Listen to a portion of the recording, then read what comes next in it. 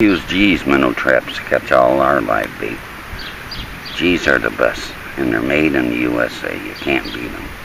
They're made by the Tackle Factory. That's the tacklefactory.com.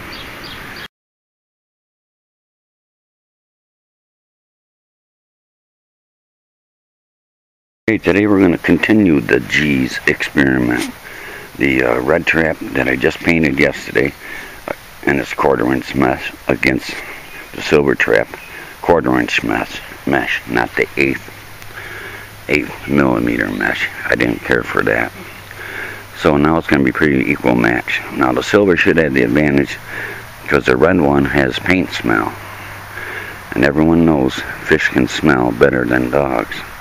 But even though it has paint smell it still did two to one to the silver so my money's on the red, but we'll be honest. We'll do an honest pull. We'll give it 20 minutes and come back and pull the traps. Okay, both traps are in the water. You can you can't even see them. I can barely even make out the red one. I can barely make out the silver one. You won't be able to make them out. Okay, you see how dirty the water is here. Normally it's normally you can see the bait swimming. Normally it's real clear here. So. And sunny days don't help.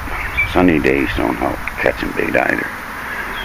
And high water is not a plus either. But we're going to leave them in for a while and see what happens. Well, it's time to pull the traps. We're going to pull them right now. It's been a good 20 minutes. We got one in the red one. We only got one little minnow in the red one. Got nothing in the silver one. We got one in the red one. With the paint smell, if it still has it. It's been a day now. We got one and one out. We got one minnow oh in the red trap, as you can see, just a little guy, and nothing in the silver. So, so far it's a red trap versus the silver. The red's doing better. So. But we'll continue this experiment when the creeks get down a little bit. It's awful high water. So we're gonna. I'm thinking of taking the spine mesh trap that, that we got with the kit. I think I'm taking on that and uh, gonna do a camel paint job on it. Right, Max? You smell the dog? Yeah, Max smells the dog food in it. And there's a moth in it. In the van, huh? There's a moth inside of it, yeah. Yep, Daddy's gonna camel paint this one. But not today, in a, in a while. When we get time. But I think we'll give this a camel job. We'll see how that works. I think the uh, the next video we're gonna do will be the uh, camel painted trap versus the red trap.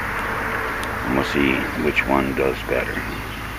But first I gotta paint the camel one, so that'd be a little while. So, so stay tuned for this video to come in the next week or so. Thanks for watching. May the good Lord take a liking to you.